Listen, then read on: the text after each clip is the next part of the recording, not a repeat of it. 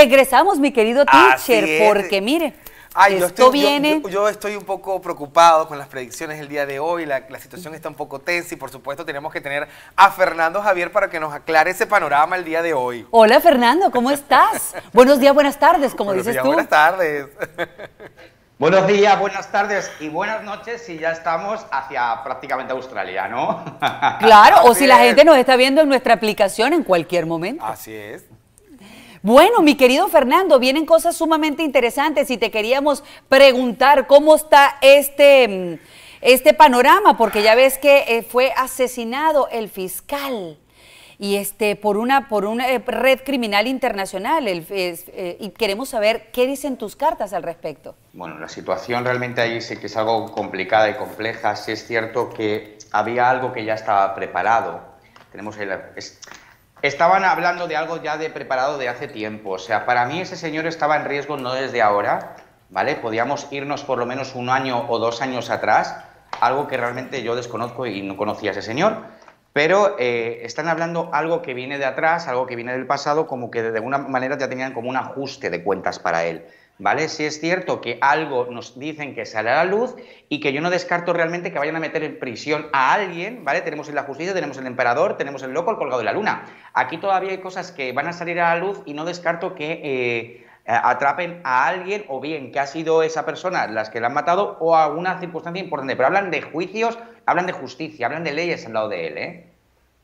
Wow, pero impresionante porque no, no, estamos acostumbrados a recibir este tipo de noticias de, Paraguay. Además, él estaba en una isla privada en Colombia, estaba realmente de vacaciones, su esposa estaba en estado... Eh, es gravísimo ver ese tipo de imágenes y, de inseguridad de alguna forma, sobre todo para una autoridad internacional pero estamos pendientes obviamente, pero yo quisiera preguntar, Fernando, porque obviamente lo que está pasando en Colombia y, este asesinato ha causado conmoción, pero habla muchísimo con referencia a la política interna de Colombia y se habla también de que se filtra la campaña de Fico en Colombia, le filtraron de alguna forma. ¿Qué va a pasar con él como candidato y esta filtración además de todo lo que está ocurriendo en hermana República de Colombia?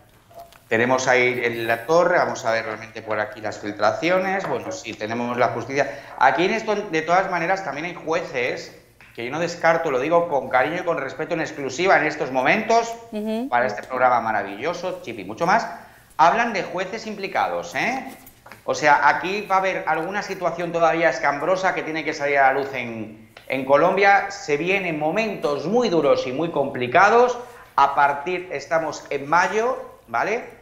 Junio, julio, agosto, septiembre. A partir de septiembre las energías van a cambiar muchísimo y ahí es donde van a tener que tener mucho cuidado los colombianos porque va a haber una guerra interna muy fuerte mi querido Fernando, este Mercurio retrógrado está afectando incluso en las comunicaciones, pero está afectando en la manera como se, cómo se desarrollan las cosas. Y voy a pasar de Colombia a Venezuela, porque precisamente estamos perfilando personas que pudieran sustituir al régimen, pero bueno, mucho se habla de Andrés Velázquez, que ahorita está dando de qué hacer, pero también hablan de María Corina. ¿Cómo ves a María Corina? vamos a ver a María Corina, cómo está ella. Una mujer realmente con fuerza, con inquietudes, inteligente, persona además que realmente es una persona con mucha sabiduría. El problema es, yo siempre lo he dicho, que cuando movemos las energías tan impulsivamente y no es el momento, haces que te atrapes tú misma y que no evoluciones, que es como en estos momentos está María Corina, tiene la luna, tiene el diablo, tiene el papa, o sea, cartas que nos dicen a ella momento de reflexión, momentos en que no avanza, momentos en que ella tampoco se siente que avance ni progrese, ¿vale? Pero sí nos trae algo muy interesante ella, ¿eh? En poco tiempo, Aquí hablan de acuerdos. Yo creo que al final realmente María Corina va a llegar a algún tipo de acuerdo importante. Ahí tiene la muerte junto a la estrella de los enamorados, donde vuelve otra vez a tener realmente posición y vuelve a tener fuerza. De nuevo va a estar de nuevo a la palestra. Hablan que va a estar mucho los medios de comunicación soltando mucha información. Si es cierto que es una mujer realmente, en el fondo, yo no la veo maleada, yo no la veo realmente con, cosas turbias o cosas negativas. Lo único que le pierde a María Corina, se lo he dicho algunas veces, y, la impulsividad. ella y yo, por ejemplo, he hablado con muchos, pero con ella no he hablado. Lástima que nunca hemos podido hablar porque, y espero que en algún momento me entienda, de que cuando actuamos de manera impulsiva y nosotros realmente actuamos así y las energías no están acordes, vamos atrás. Ella debería de llevar las cosas con más calma, con más tranquilidad y yo creo que esa jugada iría muy bien con ella y se podría posicionar muy fuerte en Venezuela de nuevo. A ver, retomo. Impresionante. Estamos hablando de una mujer que por ser impulsiva no ha avanzado más, o sea que sus decisiones las toma con la cabeza caliente, pero que probablemente va a estar en la palestra, pero llega a acuerdos, lo cual me hace pensar que no va a ser ella quien encabece la oposición. Ella llega a acuerdos, pero no encabeza. ¿Cierto? Eh, yo, yo creo que después de todas las cosas que han sucedido, teniendo el loco, el Mao y el diablo, yo creo que su camino está en estos momentos muy cerrado para que realmente ella pudiera agarrar eh, fuerza y colocarse en primera posición.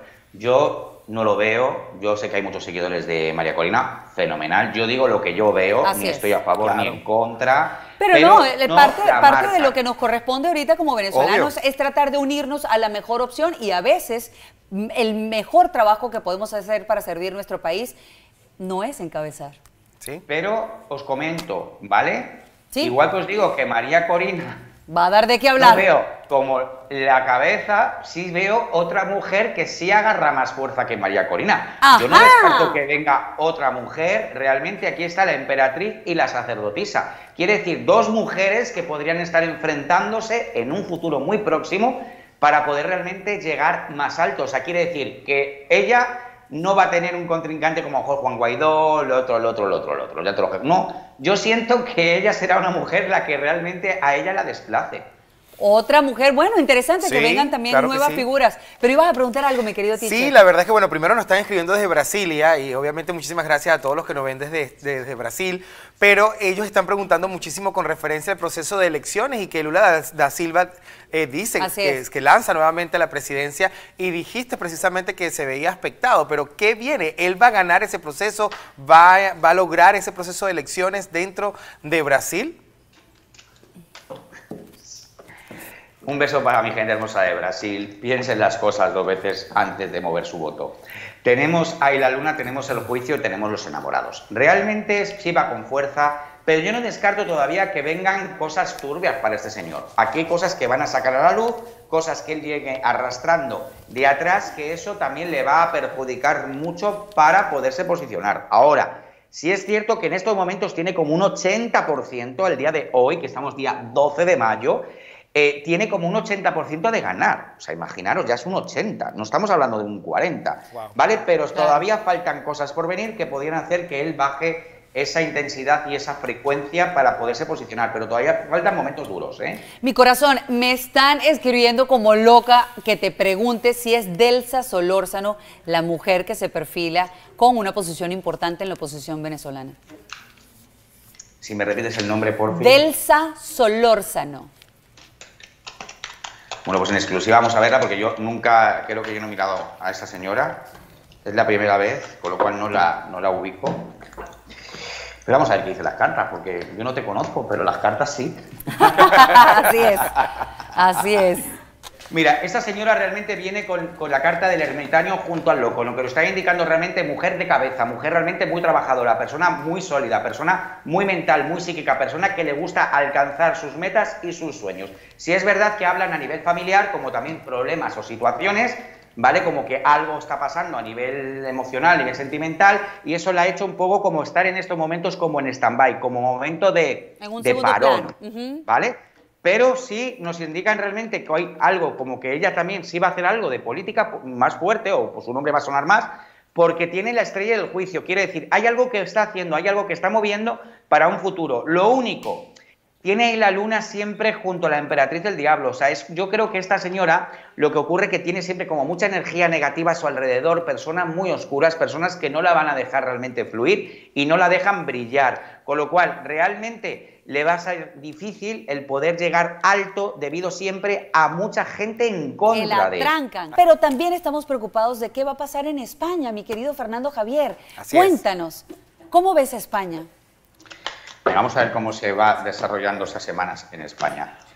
Bueno, eh, en estos momentos tenemos ahí el mago, lo que nos indica realmente un momento de comienzo, tenemos la justicia, tenemos el carro y el colgado. Vale, realmente nos indican que a nivel económico-financiero se nota un momento de respiro, un momento de tranquilidad, pero no es así del todo. Tenemos el diablo, tenemos la torre y tenemos la estrella, lo que nos está indicando realmente que aquí hay personas realmente que lo están pasando muy mal, que no se está hablando de ello y que realmente estas personas que hoy en día lo están pasando mal, hablan como personas que llegan a pasarlo todavía peor. Tenemos ahí la muerte y la luna en el futuro. Quiere decir, aquí realmente vienen momentos complicados y difíciles a nivel político y yo no descarto enfrentamientos importantes. ¿eh?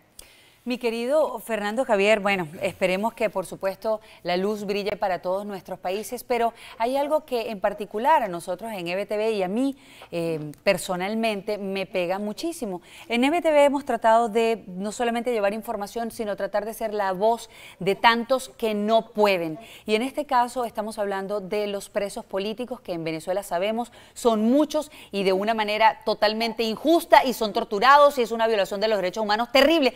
Y quiero hablarte de un caso de una persona que conozco y que queremos muchísimo, que es nuestro querido Roland Carreño. El día de ayer se habló de una cosa que pues, quiero, teacher, que nos digas exactamente el cuento. Sí, bueno, la verdad estamos esperando la sentencia, pero se habla de 20 a 30 años que el régimen quiere eh, darle como sentencia. Nos tiene muy preocupados esta situación. Si el régimen se va a atrever a tanto tiempo, porque sería realmente caerna perpetua para una persona de esa edad y nos preocupa muchísimo su salud y su Así vida. Es. Roland Carreño. Hombre, a mí me da mucha pena Roland, la verdad. Yo lo dije que, me parece muy feo lo que, lo que están haciendo.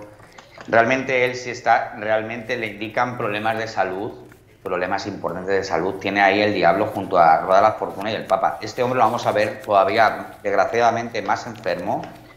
Eh, el tema de la, de la cárcel realmente, eh, si a él lo siguen teniendo ahí, y os lo digo de corazón, siento si la familia está escuchando esto, pero si seguimos en esa situación y sigue metido en prisión, tiene la carta de la torre, la justicia, la luna y el mundo. Nos está indicando realmente que él pudiera partir de ahí. Así que eh, yo espero realmente que metan más, eh, más presión para que en un momento determinado esos 20 años no ocurra, que él salga de la cárcel. Pero volvemos a repetir, él está enfermo y ¿quién son los culpables de esta enfermedad? Yo no, pero seguramente eh, los dictadores estos que tenemos en Venezuela se lo son. Sabemos que no le han dado chance a que pueda asistir a los médicos y que haya tenido la, la, ayuda y la asistencia necesaria. Y desde aquí seguiremos pendientes de todos los presos políticos. Roland, te queremos. Así es. Luchamos por ti, te tenemos en nuestras oraciones, así como todas las personas que injustamente están siendo encarceladas en Venezuela.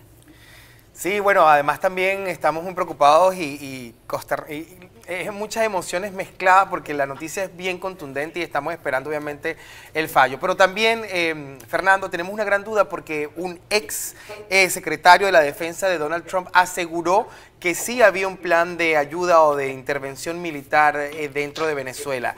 ¿Eso es, real? ¿Eso sí iba a ocurrir? ¿Era, ¿Era un plan? Y obviamente, ¿por qué no ocurrió?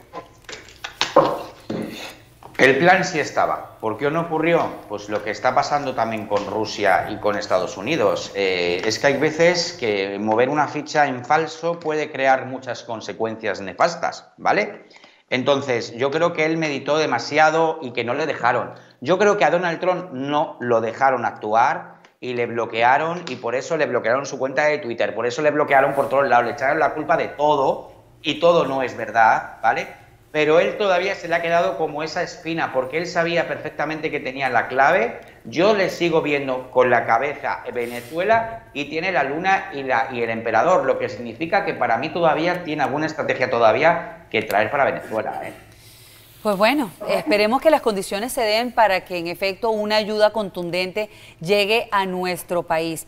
Te quería hablar, por supuesto, de lo que también nos ocupa, que es lo que está pasando en Rusia y Ucrania. ¿Cómo va a seguir esta situación? ¿Parará? Porque ya estamos cerca del plazo que en algún momento dijiste que era como cerca de mitad de año.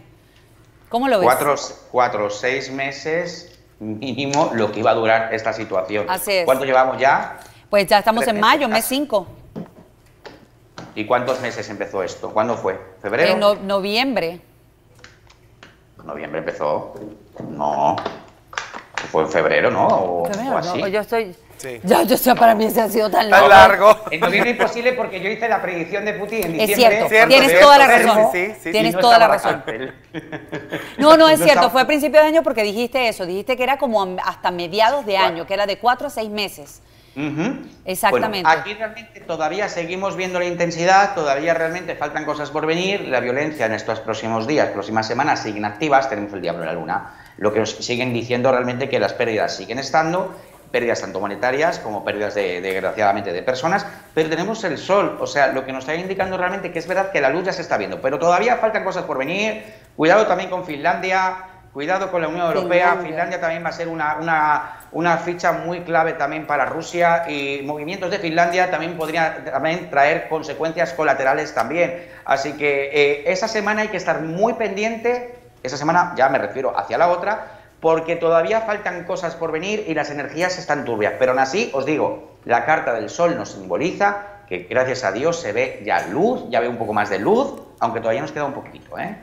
Que así sea. Bueno, obviamente tengo que aprovechar la oportunidad, Fernando, porque me escriben muchísimas personas desde Chile. Están muy preocupados porque se estaba escribiendo una nueva constitución pero eh, ha sido muy contundente la opinión pública y están rechazando profundamente esa nueva constitución por muchísimos elementos. Y eso ha traído más convulsión dentro del país. Entonces, claro, los venezolanos que han invertido, que han hecho negocio, que han crecido, eh, están muy preocupados con referencia a, a, sus negocios y a su desarrollo dentro del país. ¿Qué va a pasar, obviamente, en Chile y la situación de los venezolanos dentro de ese hermoso país?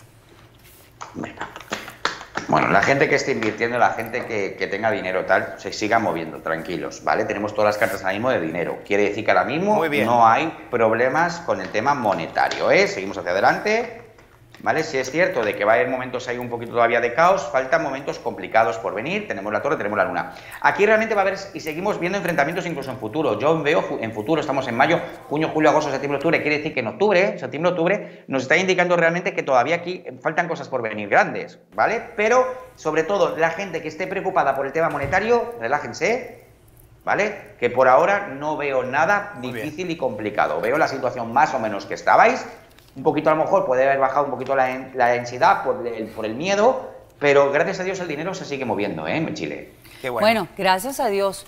Mi querido Fer, háblame de Topacio Imperial, porque hay muchísima gente que nos está preguntando por la Cumbre de las Américas, por muchísimas cosas que seguramente a través de tu gente lo puede aclarar de forma directa.